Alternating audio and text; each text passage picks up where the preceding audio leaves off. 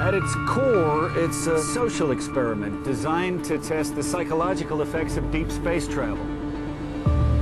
Ignition. We have liftoff.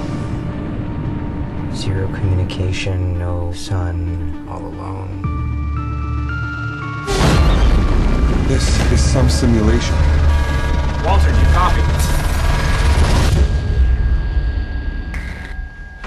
Where are we? Don't you see? It's all part of the simulation. This isn't what we signed up for. Am I the only sane one here? Something is very wrong out there. What the hell is that? Delusions, memory loss, hallucinations.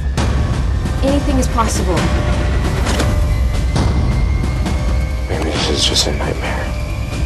I'm ready to wake up. We don't know what happened. It doesn't make any sense. For all we know, she could be faking it. You open up that hatch, we all lose.